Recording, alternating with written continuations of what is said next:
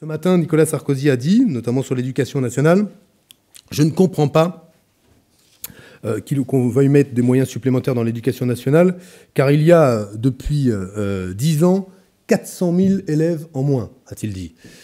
Selon l'éducation nationale, qui vient de publier les chiffres, depuis 2002, il y a 63 000 élèves en plus dans l'école française. Donc il y a euh, là un premier mensonge, mais Nicolas Sarkozy poursuit et il dit non seulement il y a 400 000 élèves de moins, mais il y aurait 45 000 enseignants en plus depuis 10 ans. Selon, là encore, les chiffres fournis par l'éducation nationale, il n'y a pas 45 000 profs en plus, il y en a 76 217 en moins.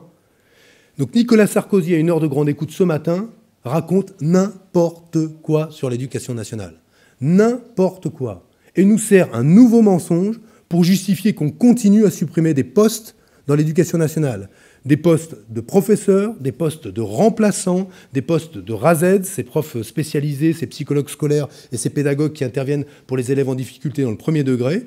Mais pour justifier cela, il nous sert à une heure de grande écoute sur une grande radio des chiffres qui sont des chiffres euh, parfaitement euh, fantaisistes, des mensonges, des mensonges qui servent à un projet politique continuer, poursuivre le démantèlement de, l'éducation nationale, l'école publique.